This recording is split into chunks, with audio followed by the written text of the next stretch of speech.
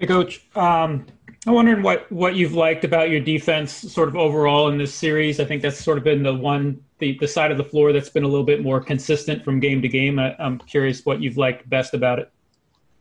Well, John, I just think that, um, you know, other than in game one, you know, uh, we didn't, we weren't really switched on to game one. But other than that game, I think we've tried hard. Right? I think there's been some effort and some desire and some toughness and, and trying to carry it through for most possessions. You know, each possession seems to be pretty critical in a playoff game. And, we're getting to the point where we're playing most of the possessions is you know as, as, we're trying hard you know we're making some mistakes and they got good players and they make shots and some things like that but but we're we're down and trying to trying to compete i think is the biggest thing what's the biggest most important factor in defending them in the half court um well let's see let me see if i can pick, pick one if i can pick one uh, what's most important well I mean, it's always most important that we get them in the half court. And I know you asked me once you get them in the half court. I mean, it's probably containing the ball and, and you know trying as best we can to keep keep the ball in front of us. Appreciate it. You're welcome, John. Next question goes to Doug Smith from the Toronto Star. Uh, you had said that your guys hadn't played really well as a group for even in the win. Did you feel tonight you looked more like yourselves for longer? Well, yeah, Doug. I think we played. We played. You know, we played some ball tonight. Look, look like. Yeah, it looks like the team we remember a lot, a lot tonight, right? I mean, I thought we, for, for, for the most part of the game, I thought we made really excellent decisions at the offensive end. We just kept probing and and looking and passing and finding good shots, and then and then guys stepped up and made some big ones when we needed them too. And you, you need that because they're they're guarding very well too and then I already talked about. I think the effort on defense was was yeah. very team team orientated. You mentioned very very often that Serge seems to finish games well, but tonight he sure started off fast. What what do you uh, attribute that? Well, you know, he came in and he came in, Doug, and hit a trail three, kind of real quick. Um, that always helps. That always that always gets a spring in Serge's step when he when he gets to see his first shot go in. And then I think right after that there was a as a timeout, like literally right after he hit that one, and and we ran a little set for him to get another one, and he he wasn't even really that open, and he made it made that one too. So good good start shooting, and I thought he did a good job protecting the rim at times too. Thanks very much, Nick. As always, appreciate it. Welcome, Doug. Next question goes to Josh Lewenberg from TSN. Hey, Nick. Uh, becoming a bit of a trend, Kyle getting off to these really good starts, really aggressive starts in these really big games. You compared game three the other night to game six against Golden State. How much does it help in terms of getting the other guys going and sort of setting the tone for the game? Maybe something that was lacking in general in game one when Kyle's the guy to come out and do it. Well, I think that when when when he does it, I mean, I, I want to say that when anybody comes out that aggressive, it usually gives us a boost. But but he obviously is our team leader and our veteran, right? And when he does it, I think it automatically gets everybody like, you know, a, a, a, a burst of energy, focus, and um, confidence. I, I I was happy with the confidence that we looked like we shot the ball with tonight. You know, even even guys that didn't really make that many or a high percentage still kept shooting them in rhythm and, and like they were going to make them. And that's that's uh, uh, that's a that's a big step forward from where we were a few games ago. Thanks, Nick. Have a good night. You're welcome, Josh. You too. Next up, we have Michael Grange from Sportsnet. Hey, Nick. Um, just wondering when, when I think Kyle was at uh, 44 minutes, pretty much the whole second half again. Do you check on him at all? Do you just, or do you just kind of roll him out there and, and pay no attention, or do you kind of ask him, "Are you okay? Do you need a blow?" Uh, he is old. Yeah, I mean, I did, uh, I did, I did check with him, but a couple times I was just joking. I asked him if he needed a sub with a kind of smile. I, you know, he chew me out. You know, like, like, no, I don't need one. I was like, I know. I was just, you know, I was kind of kidding. Um, but we do check and ask them and tell them we got some timeouts. You know, if they need a rest. You know, and we you probably saw us take one with 350 to go there. We had one to burn. It felt like it was just a rest timeout. I thought we got a really, really big boost on the challenge. There was a big, big point where we were playing where it was frantic, and that was another big resting point, you know, for our guys. So I think our guys are used to playing. I mean, not this many minutes, but they're used to playing heavy minutes, and they're certainly used to playing in this intensity in playoff games. So they're okay. Another question on Kyle. I mean, it's I'm sure you don't get tired talking about it, but um, there's what that one sequence I think in the third quarter where he really went out of his way to get Fred a couple of uh, triples. Like he, he made some really nice little simple plays to to find Fred was in rhythm. Found him a couple times. I think he found Serge for one. Just that aspect of his game, his awareness of who's kind of flowing and and and the plays he can make to get the guy the ball at the right time.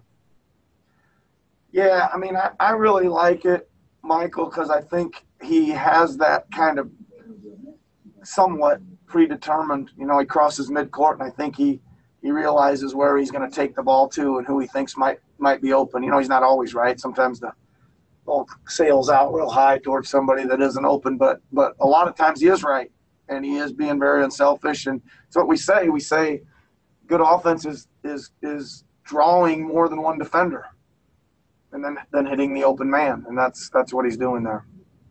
Appreciate it, Nick. Have a good evening. You too, Michael. Up next, we have Blake Murphy from The Athletic. Hey, Coach. Um, you'd mentioned a couple times recently that you were pretty happy with at least some of the threes that you guys were getting. Um, you know, tonight a few more of them dropped, but still not to, to your team's normal average. Were you happy uh, or happier rather with the process side and the type of threes you guys were creating as they kind of changed up their, their defense?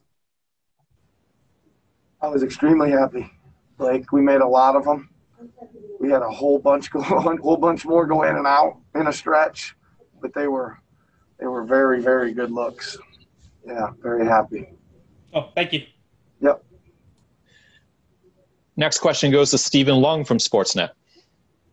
Hey, coach. Just uh, again about that three-point shooting. Was was it just a, a matter of, of like the the guys just finally finally making threes? Tonight, uh, just just because like a uh, like a lot of the looks tonight looked were similar to the ones from the previous three games.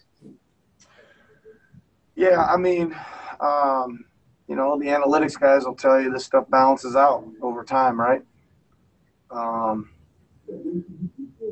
when some of them are going in, uh, I think it seems like the looks are a lot better. I got to watch the tape. It, it, felt to me like they were a little better tonight than they've been.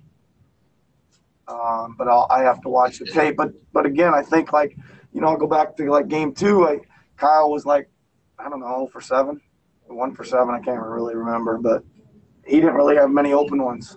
Fred was two for twelve, and he did have open ones. You know, so it's a little bit of little bit of hit and miss. But you got as you know, it's a make or miss league. We made a bunch of them tonight. They didn't make a bunch. It's similar to similar to the way the first two games went, where we didn't make any and, and they made a bunch. So and how I guess how big a boost is, is that to to team morale when when uh, your threes do do go in because it's such a big part of of your team's offense. Well, I think it, it, it's always a boost for everybody when the ball goes in. I think it, it helps your defense too. It, it energizes you. We talked about that with Serge. I think it I think it always helps. And then when they're not going in, it really you can see you know you can see energy drop and body language change and things like that. So it's it's big. I mean everybody likes to watch their own shot go through the net, Stephen. of course, of course. Thanks a lot, Coach. You're welcome, Stephen. Next, we go to Steve Simmons from the Toronto Sun.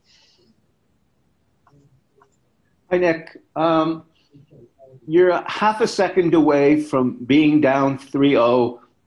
Now your series is tied. How much have you seen over the last few days the experience and championship pedigree of this team rise up to get you back in the series? Well, I think I think there's certainly a lot there, Steve. I mean, I would say this: um, our guys are used to playing big minutes in intense situations over long series.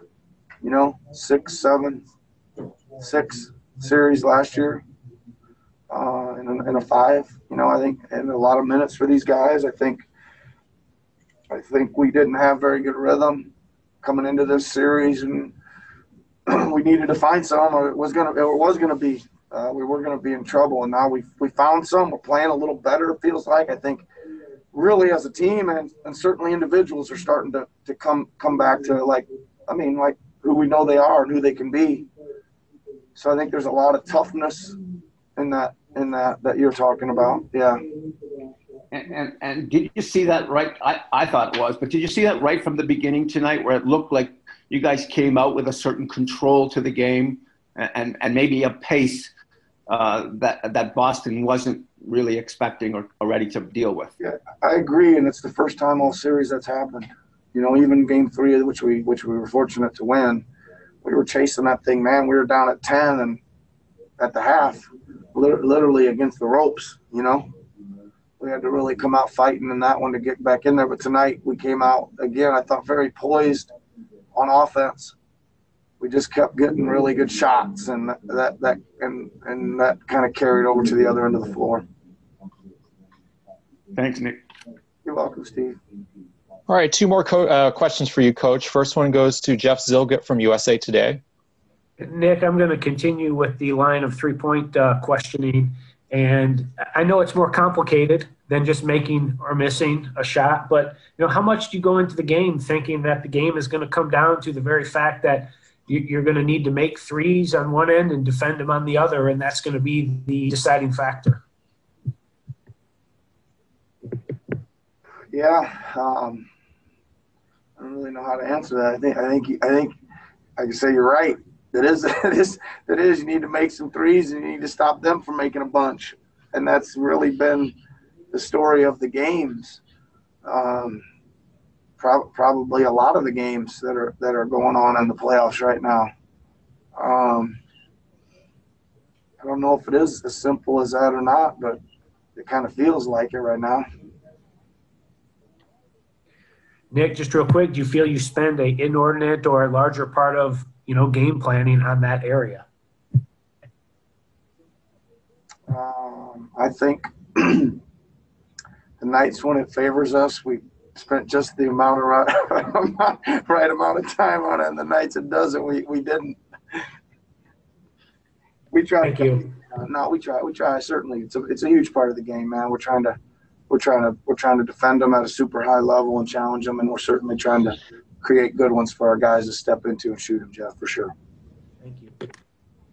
All right, final question for you, Coach, goes to Sam Amick, who is there in person from The Athletic.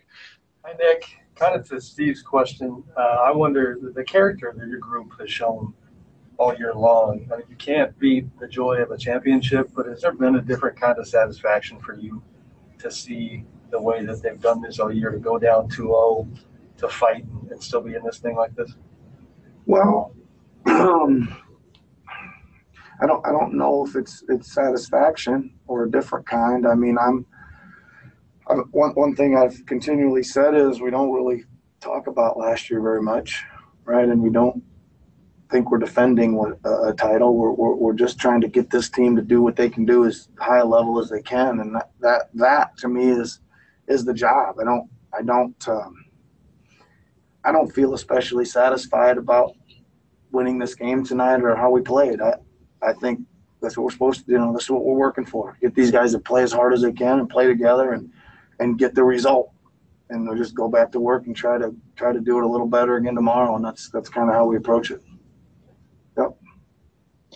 Thank you, Coach. You're welcome. You're the, you're the Kyle Lowry of answering media questions. How's that? 48 minutes of uh, you just keep going.